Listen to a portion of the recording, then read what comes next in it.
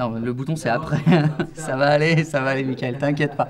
Salut, c'est Michael Gregorio. Dans mon taratata, moi, j'aimerais revoir Keren My Name is Trouble. C'est une artiste que, j'aime depuis, depuis, euh, je crois que c'était son premier album. Je suis pas sûr, je vais pas dire de bêtises. C'était la biographie de Lucas Philipsen qu'elle avait euh, fait avec euh, Benjamin Biolay. C'est un très joli moment. Elle est accompagnée par l'excellent Marc Choirin qui fait un solo de Perséphore, euh, un instrument un peu bizarre que j'adorerais avoir chez moi. Je vous laisse regarder.